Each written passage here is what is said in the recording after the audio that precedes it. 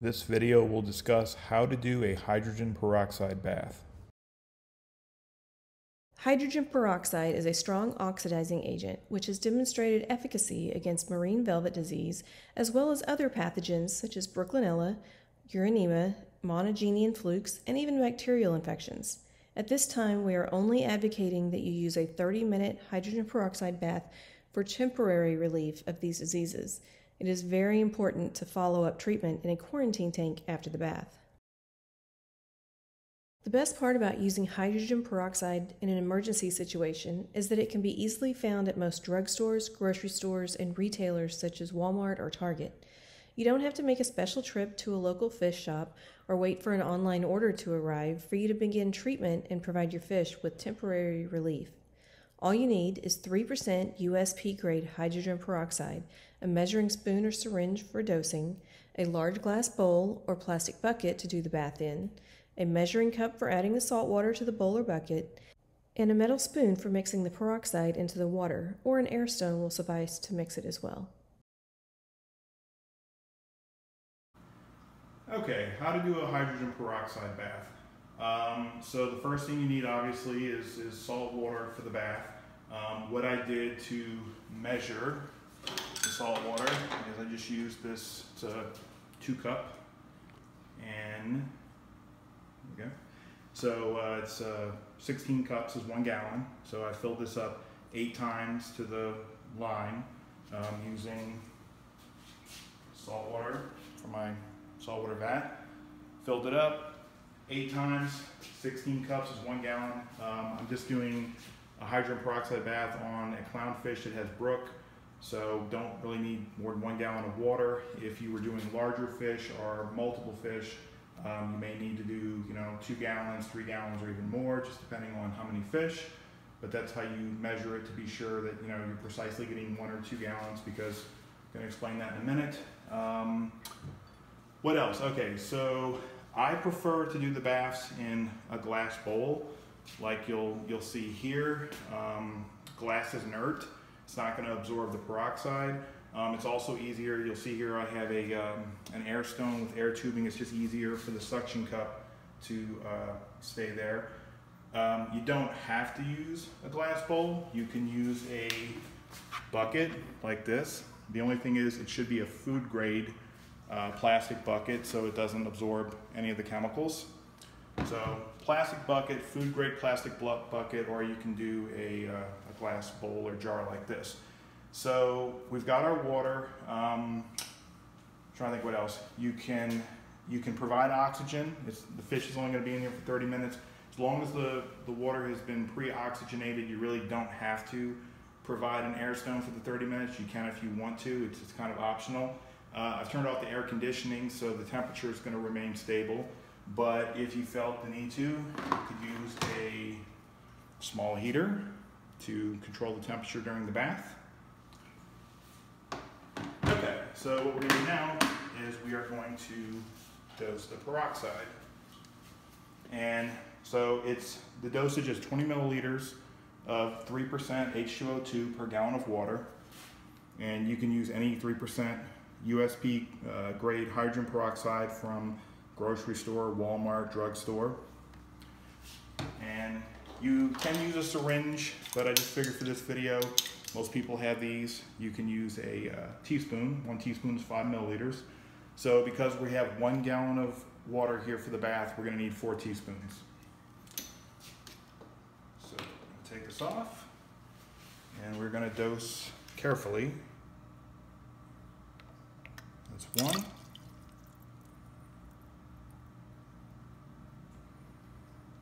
Two.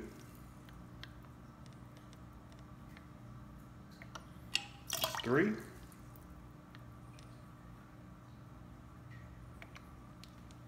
And there's four. Like I said, you can use a teaspoon or you can use a syringe if you have one available. That's maybe a little bit more accurate way to do this. Okay, so now we are going to turn on the air stone. There we go. And what that's going to do, that's going to mix the peroxide into the water. We'll probably do that for about a minute, and then we come back, we'll have the fish in the peroxide bath. Okay, so this has been mixing for a few minutes now, so what we're gonna do is we're gonna be sure that, you know, we have peroxide actually in here, that, you know, sometimes you can get a bottle that's expired or just not as active as it used to be, so you can use these. Uh, Waterworks peroxide test strips. I'll include a link um, in the comments section. You can just buy these off Amazon. These only test up to 100 ppm, and our target here is 150 ppm. But the point is, really anything between 75 and 150 ppm um, is effective. So we're just basically going to use these just to be sure that you know we do have peroxide in the water and it's uh, effective. So Waterworks peroxide, you can buy them off Amazon, and it goes up to 100 ppm. So let's just test the water. And it's a uh, little test strip. And what we do is we put it in here for a few seconds. And look at that. It's actually on the back here, there's a color chart, and you can see that we have at least 100 ppm of peroxide in the water. Again, the target is 150, but as long as it's 100 ppm or more, that's what you need for the 30 minute bath. Okay, when we come back, we will have our fish in the bath water. Okay, so here's our little guy with uh, Brook. Um, he has Brook, and we're going to do the peroxide bath. So we're just going to gently put the clownfish in the bath. There you go. And we're just going to, you know, keep an eye on him for the first few minutes. Just be sure he's not freaking out. He's not having an adverse reaction. And then we will. I'll probably go ahead and start the uh, the air stone just to be sure he has enough oxygen in the water. Again, as long as the water has you know been heavily pre-oxygenated, you really should need an air stone just for 30 minutes. But you know if it makes you feel better, you can run an air stone. So we'll go ahead and do that. We- okay, clownfish is in the bath, and you can see um, it's actually I think it's a she. She's doing fine, and we've got some oxygen there for her. Um, when we come back, I'm actually, I've got like a second part to this bath that is optional that I'm gonna do in this bucket right here. Um, but I will explain that when I come back. It's not really part of the peroxide bath, but it's something that I've been working on as a uh, second part after the peroxide bath. So um, we'll go ahead and throw that into the video as well since we're talking about this. Okay, see you in a few. The secondary bath we are about to show utilizes nitrofuracin green powder. We will show you where to buy this in the comment section. The bath lasts 30 minutes and dosage is 100 milligrams per gallon of salt water. A less preferred option is to do a methylene blue bath instead. Dosage for that is 1 milliliter per gallon in a 30 minute bath. Both chemicals provide additional efficacy against pathogens and will help the fish heal following the peroxide bath. Okay, so we've got about two minutes until he comes out of the peroxide bath. Remember, you only do the peroxide bath for 30 minutes before you transfer the fish. Now, I, we're going to do a second part to this bath. This is optional, but what I've been doing lately is doing uh, either using NFG at 100 milligrams per gallon, or you can use methylene blue at um, one milliliter per gallon uh, for another 30 minutes. So that's what's next. So my wife is going to show you first how to measure NFG. So the first thing you have to do it by weight. So we're going to turn on. Can you see the? Okay, so it came up to zero whenever it came on. Now we're going to put the little measuring bowl up there, and I like to use actually a little um, piece of foil. Just makes a bigger target, and it's easier then to pick it up and stick it in the the other. So now you have to hit tear. Which one is it? Right. It's the one right there, closest First? to the, yeah, know the glasses on. Okay.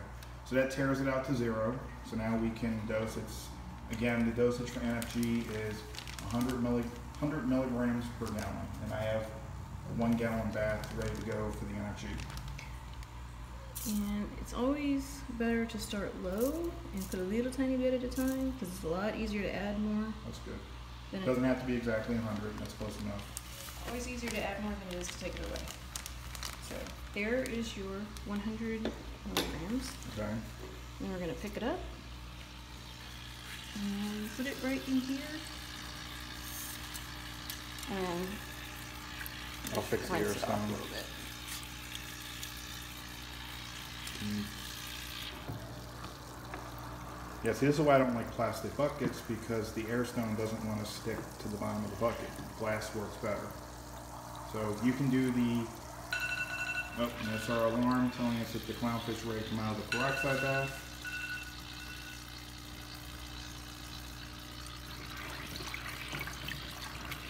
Yeah, can you just take this?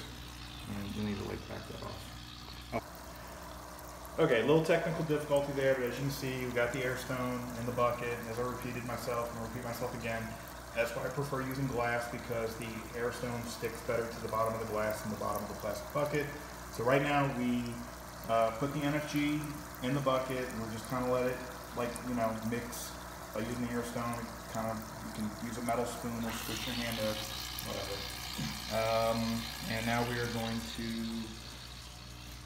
move the fish because it's been actually a little bit more. You can actually go a little bit longer than 30 minutes if you want. No. Not much though. Come on, buddy.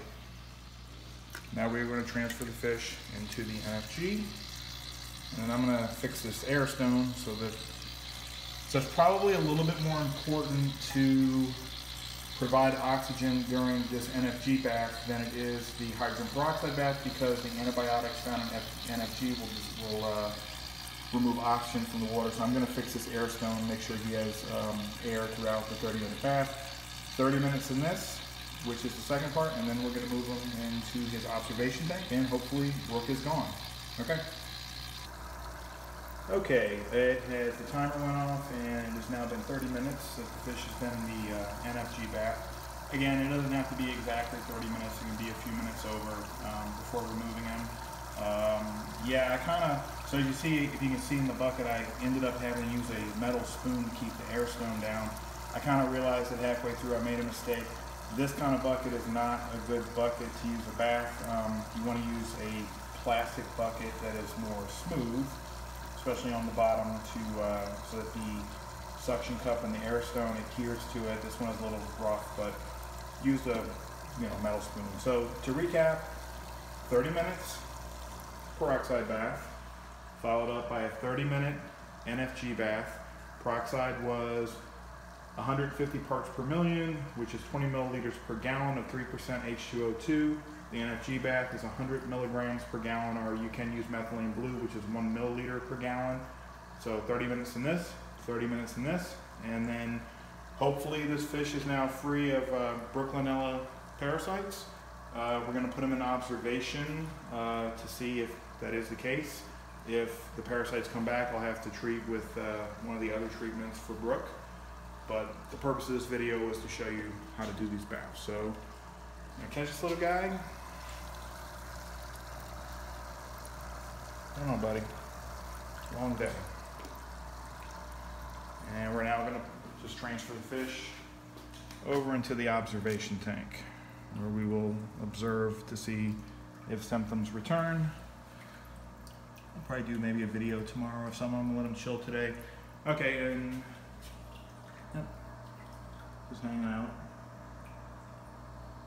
And as you can see, the fish is perfectly fine, unaffected um, from the bath, just swimming around.